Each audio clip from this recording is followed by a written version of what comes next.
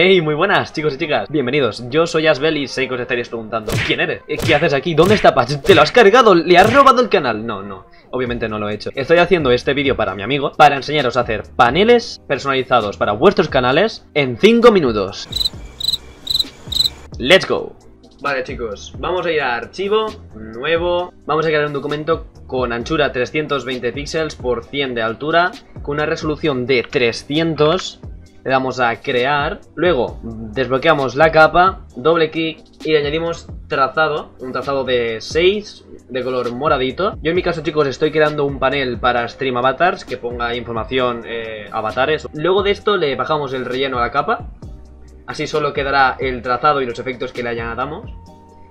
Después de eso vamos a añadirle sombra interior, una pequeña sombra interior de 77 de opacidad una distancia de 2, retraer 0 y tamaño 37 y un resplandor interior que tenga de modo difusión luz intensa, opacidad 24, retraer 70 y tamaño 16, obviamente el rango también al 100 y eso sería lo único que vamos a hacer en esta capa.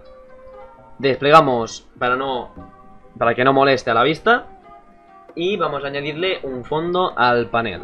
Como Stream Avatars es rollo pixel art y todo esto, he decidido eh, poner un fondo sacado de no sé qué juego, pero que es así rollo pixel art, que la verdad eh, queda bastante bien, pega mucho con el rollo, y lo ponemos por debajo. Y mirad cómo cambia, cómo cambia la cosa, ¿eh? Esto es gracias eh, a la sombra interior y el resplandor interior con luz intensa que hace que quede muy bien. Bueno, dicho esto, por ahora también vamos a añadir otra imagen que yo he decidido que quiero poner, que es uno de los bosses de Stream Avatars. Lo subimos por aquí, para que no le afecte la luz y así que esté por encima del marquito, cosa que me gusta mucho. Le damos doble clic sobre la capa, ponemos un resplandor exterior,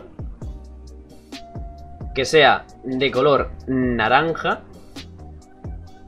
y le bajamos un poquito el tamaño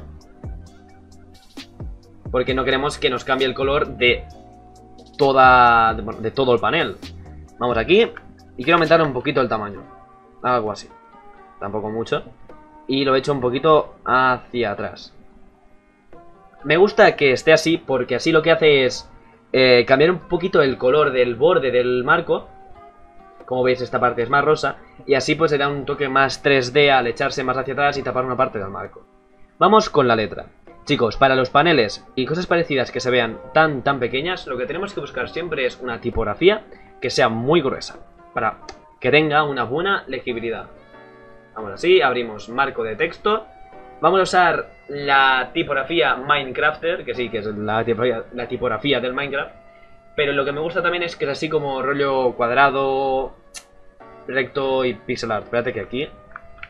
Control A, lo borramos todo y lo volvemos a escribir, no hay problema. Cambiamos el color del texto a blanco. Y eh, vamos a duplicar la capa.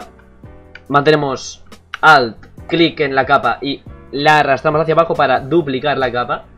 Aquí ponemos,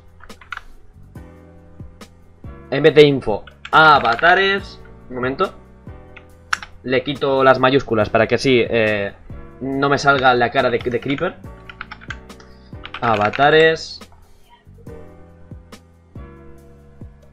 Y cambiamos el colorcito a uno moraico. Mira, de hecho, el color del marco. Así. Perfecto. Vamos a darle doble clic sobre avatares, sobre la capa de avatares. Vamos a añadirle un trazo que sea eh, negro. Un momento que traigo esto aquí. Pam. Y que sea de 1. Perfecto. Creamos ahora una sombra interior. Le bajamos el tamaño. Así. Un momento.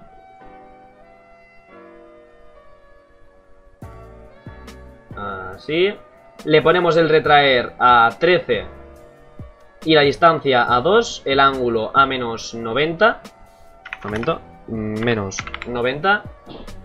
Y le bajamos un poquito la opacidad. Y la distancia se la aumentamos un poquitín así. Bajamos más la opacidad. Ahí, lo, lo estoy haciendo a ojo, chicos. Vale, y yo lo veo bastante fresco. Así le da un toque 3D sin meternos en el rollo de 3D de Photoshop, que bueno, eso es un tío. Y no vamos a ponernos ahora en un vídeo de 5 minutitos. Venga, ok. Tenemos eh, el, efecto de los avatares, hacemos eh, clic derecho sobre avatares. Copiar estilo de capa, vamos a info. Pegar estilo de capa. Ya veis que nos lo hace así. Perfectito, perfectito. Vamos a hacer una cosa que es... Subimos esto.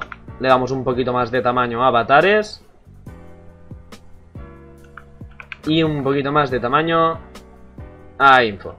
Perfecto. Y ¡boom! Ya tenemos nuestro panel de avatares. Y bueno chicos, antes de finalizar el vídeo me gustaría aclarar que no todo el mundo obviamente va a necesitar este panel. No es ni de lejos el que más es necesario. Así que solo quería deciros que esto es solo un ejemplo. Es un ejemplo para que tengáis idea de cómo empezar a diseñar vuestros paneles para vuestro canal, ¿vale? Si queréis un diseño más profesional, si queréis un diseño más específico para lo que sea y no tienes mucha idea de cómo hacerlo, siempre podéis acudir a Creators Bay Studio, que es un estudio que he creado con unos amigos para poder satisfacer todas las necesidades de un creador de contenido, desde edición de vídeo, diseño gráfico, gestión de YouTube, ilustración o crear servidores de Discord a un módico precio, todo. Y tened en cuenta que si venís de este vídeo, si me decís, oye Asper, yo vengo de este vídeo, os voy a hacer una rebaja de un 10 o 15%, depende de cómo me pilles ese día. Nada más que añadir, un beso, un abrazo y hasta la siguiente.